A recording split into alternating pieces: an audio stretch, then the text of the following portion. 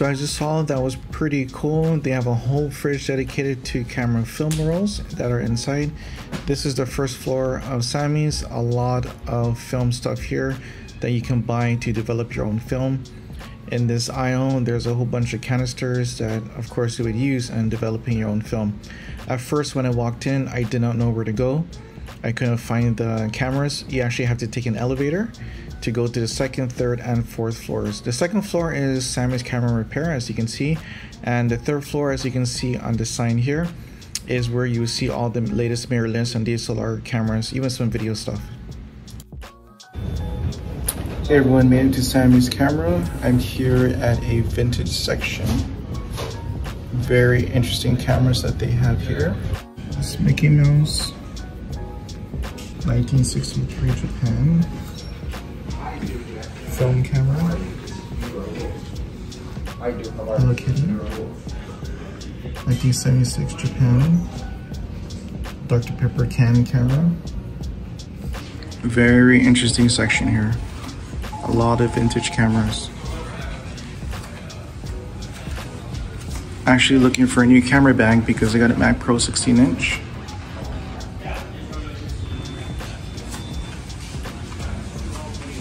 Third floor, like a section.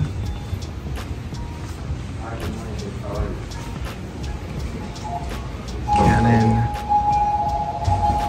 Nikon at way in, Fujifilm, Pentax, camera bags in the middle. Here you see some really nice used Leica gear. That was the Noctilux F1. Here's the Leica MP240 Safari Edition, Leica M10P, and even the Leica M8 was their use, and this is the camera they used to have over a decade ago.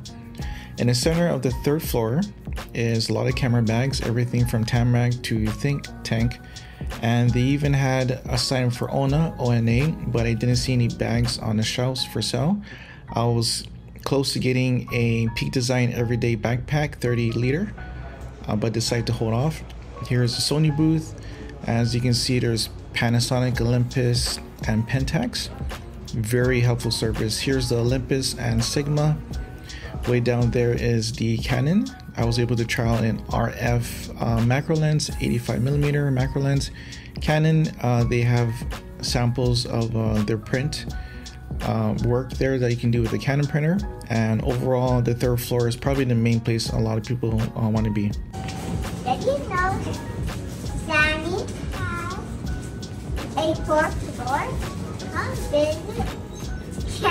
Cinema Works. Cinema Works here at its deal Location. location upstairs. Thumbs up. So that was my daughter Allison. She is six years old now. We are at the fourth floor and a lot of studio equipment, a lot of studio lights, really nice uh, space if you're into uh, cinematography. And what's kind of weird is the fourth floor has the, they call it pro cameras, and that's the medium format digital cameras. So I was kind of surprised to actually see that they have uh, phase one there, as I'm going to show you uh, soon and I guess this is called CinemaWorks, uh, the fourth floor. So here's phase one, not too much inventory. The next to you have the Hasselblad, uh, GFX Fujifilm, and to the left you actually see Red Camera. And Red Camera was actually pretty busy. There was a lot of people getting some gear um, after about 10 minutes of me being there. So I was able to uh, ask uh, the person there uh, if they had a GFX 50S Mark II to try. And by the way, um, here's the lighting setup, and my wife was using the lighting to try to take uh, pictures with the um, her iPhone. So there it is, a GFX 50S Mark II. Uh, Hasselblad cabinet. I was more focused on the GFX, and they still have the Pentax 645Z there, and I was surprised that they did have it. Uh, remember, um, used to use the 50R. I review I reviewed that on the channel, and a GFX 50S Mark II uh, I was able to try it out. And uh, subscriber Roseman4, uh, Dennis, he asked me to try this out and it pretty good for IBIS. So I did try it out. It feels really solid, um, but I just didn't really like the blackout times. And here's Allison just messing around. Uh, my wife taking the photos, uh, messing around with the lenses there. Uh, so here we are on our way to the Leica store, which is about 10 minutes away from Samy's. It is in West Hollywood. And I just wanted to see what kind of camera bags um, that they have there. And if you didn't know, uh, they do have their own parking to the right side of the building. Uh, there's no meters at all, so you don't have to pay. Here we are inside the Leica store LA and gallery. Pretty nice space on the first floor, and the second floor is a gallery. But on the left side, this is where you have like the t-shirts and camera bags. And the nice lady there, Amari, she was helping me out. And the only bag that can fit my MacBook 16 inch laptop, as you can see here, is the Oberwerth Richard 2. And this is the uh, Leica edition, the red dot edition, and it has the red interior. They even sell used uh, Leica gear there as well. There's Allison jumping up. I didn't really get a close look at the prices, but as you go further down, they have the new Leica M11 on display. I was so tempted to try it out, but I did not. I don't want to get tempted to try to and you know to buy it because the M11 is awesome. CL, uh, Q, and then I believe the last one is the SL on display. A lot of it's really bright in there, so uh, excuse the reflections on the glass. Pretty cool. Summicron 75 millimeter cut in half. Here's the Leica M11 I was talking to you about. Second floor as you climb up. Uh, this is the gallery, and I believe because it is Pride Month, uh, July, Anthony Fredericken, the gay essay, uh, on one side, and then you have, I believe, Sean Black on the other side. And they had a dog in there. His name is Disco, and he was actually wearing uh, looks like a Leica collar. you can see his tag, Disco. On the balcony, top floor, and the backside, uh, sitting area, it was super hot during that time, but if it was much cooler. You probably enjoy yourself sitting there thinking about if you should get the M11 or not. Uh, nice view of the traffic. And so I needed some time to think about that Oberwerth Richard 2 bag. It was way beyond my budget. So we decided to go and eat down the street, only a three minute walk to Granville. I believe that's the name of the restaurant. Beautiful Aston Martin that was parked on the side street and so did some thinking uh, over lunch. Uh, really nice um, place in um, west hollywood. Really good food as well. The food was like uh, just so delicious. Uh, this is kids uh, grilled cheese. Uh, tasted really good. And my burger was was amazing. And the kettle chips are fresh and they make them there um, but the prices aren't um, bad either. My wife got the Uptown mac and cheese. It was super good as well. And she said it's the best mac and cheese I ever tasted. And my daughter Allison really loved the grilled cheese as well. So I was searching for it online and it's actually sold out at B&H, sold out on the actual website. Uh, we went to a mall close by, uh, Beverly Center, and I called up Amari and I said, "Hey, I want to get this bag." And here's me picking up the bag. the name is Bryce. Ooh. German, right? Yes. And then Billingham's, uh, where the UK. Correct. Yeah, Yes. Billingham's the UK one. This is the Richard two. Which I have, I ironically checked, because I was looking at the bag, I checked on, sold out everywhere. Yes. Um, that's what I was doing. I was waiting for her Yeah. shopping on a chair. I'm like, why is B&H sold out? Everywhere sold out. Everywhere, yeah. Everywhere is sold out of that bag. I was checking it too, because I was like, everyone's sold out of that bag, so. And now it's sold out. here. Huh? Now it's sold out here, yeah, that's our only. Ooh, and that's because of you. Yes, you, you bought our only one. Now watch, someone's gonna call about it and be like, oh my god, do you have the Richard too? It's sold out everywhere. Oh, I do, but I don't. Some guy from Guam took it. You see He's it? gone. Yeah, I, I was looking on Overrides. I looked up this. I was just like, because you know, this is like, I know we've had it, and I was just curious what it was like for other sites. And Next to the cash register was a Master and Dynamic 0.95 headset. I never saw this uh, before in person. And here's where I tapped to pay almost $1,000. I'm here smiling uh, that I got my new camera bag. The next picture was taken by Amari, and she made sure to get the Leica gallery in the photo. So, just recently, I got a 16 inch MacBook Pro. which it had a hard time fitting in my Billingham. Uh, I believe this is called Hadley Pro bag, and this is the large one. So it was really snug in here. And I wanted to, and this will be my main computer, by the way, for editing uh, YouTube videos for the channel. Um, this is the MacBook Pro 16 inch uh, M1 Pro, uh, just a base model. Then I got an external storage for two terabyte SSD.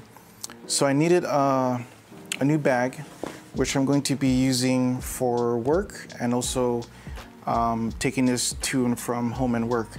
And I went to Samy's Camera, as you probably saw earlier in the video, and Leica Camera. And Simon's Camera doesn't carry this brand. It is Oberwerth. And the nice lady, her name is Amari at Leica Store LA, helped me out and we determined that uh, this bag, the Oberwerth Richard II, is the Leica edition or Red Dot edition, was able to fit this large MacBook.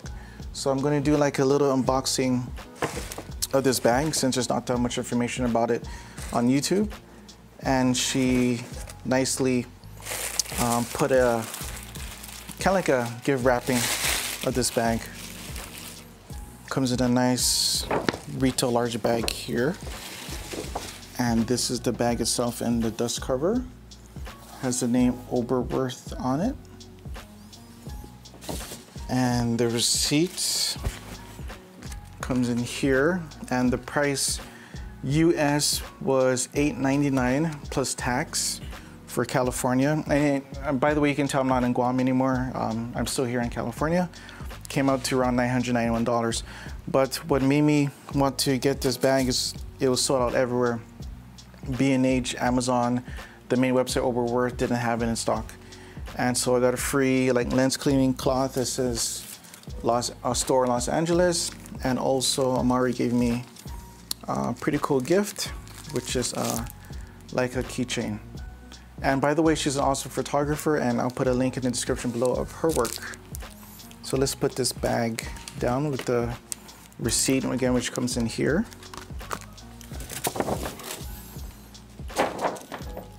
And so just going to take out the dust cover.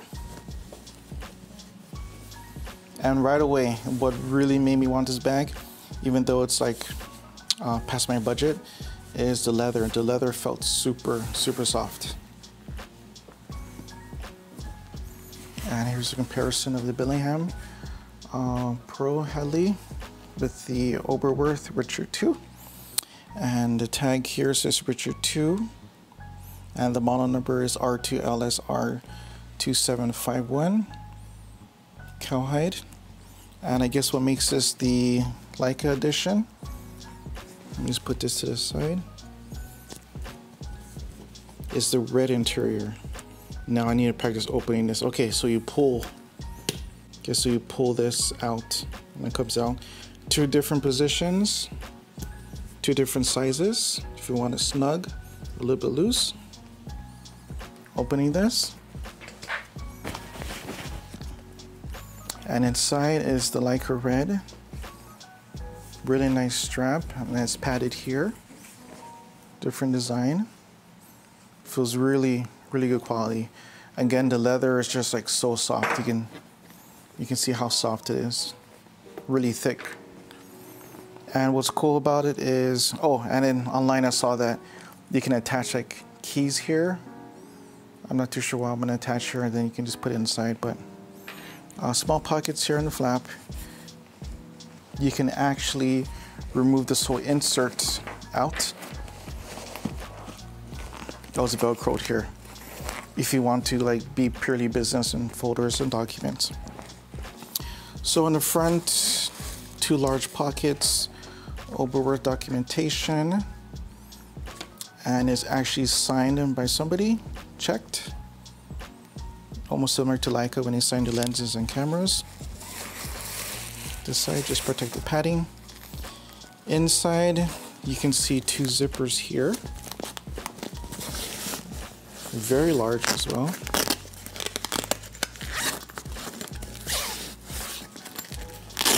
And this is where you actually get to take out the insert.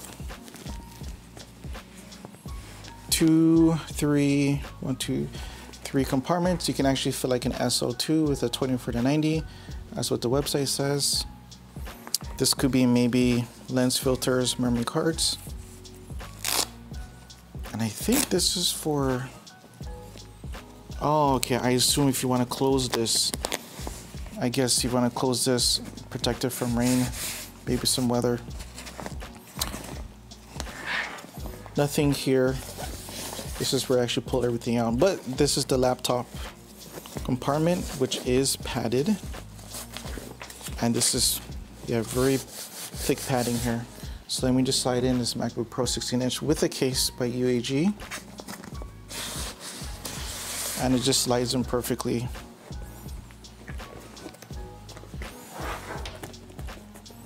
Really padded. And I missed this. Back here is a zipper. I did not know this. Pretty large. Fit some papers. Maybe some batteries. And this looks like it's Velcro. Let me zip this up. And this maybe could be, I think maybe put it on like a carry-on luggage. I'm assuming, or maybe you can attach like a tripod here. Uh, not too sure the function. I'm guessing maybe carry-on luggage. That's what I'm guessing. Uh, here on the side, small compartment. This is the belt buckle. Looks like maybe you can attach something else here. The other side. And it just smells good. Let's see, you can put this flat back in. Again, similar small pocket all the way down. I'm assuming with this you can maybe attach another um, strap if you want. I'm just assuming, I'm not too sure. But yeah, this is the Oberwerth Richard 2. I guess this is the latest version of the famous Richard bag. And if I'm carrying a lot of stuff, just use the first one here. And I'm gonna fit everything in here. I'm gonna fit the Charge even my mouse.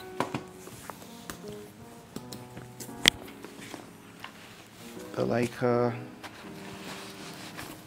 M9P can easily put in. Probably in this side. Yep, just goes in. Currently shooting with the Canon R5 24 to 105. Probably got to adjust it, but yeah, I can fit there in the top. Some wireless audio equipment here. Yeah, a lot more room. Even uh, Canon 51.8 I can put here. Just slide down. Other miscellaneous stuff I can put in the front charger. Chargers actually. I can probably just like throw it in here. Everything's sliding in nicely. But yeah, you can really see the Billingham did like hold a lot initially. No clipper, batteries. Just throw it all in here. Uh, so let me just see how this feels real quick. The pad, the Billingham didn't have it. Oh, this looks like it's really adjustable. Like you can really extend the strap.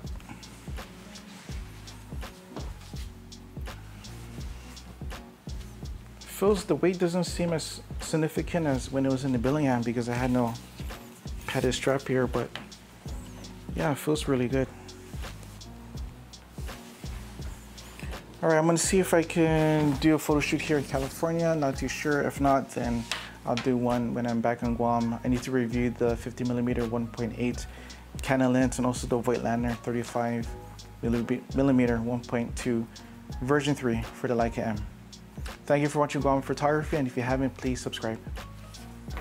Okay, I just want to show you the cool feature of how the whole middle can pull out. So again, okay, nothing's inside here. I'm assuming that you can just close it up like this. Velcro. And detach the whole insert because it's velcroed in and just pull up the whole thing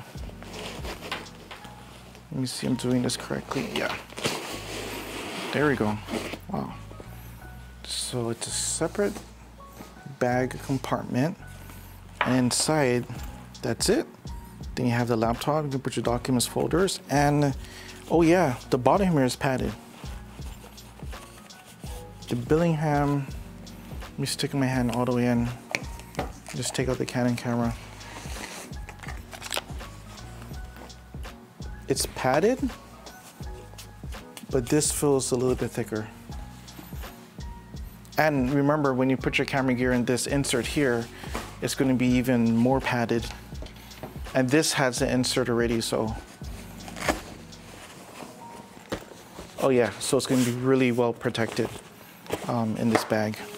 Oh, hidden hidden slot here. There's a hidden slot here on the side. Another one. I think the more I use this bag, I'm gonna find hidden compartments.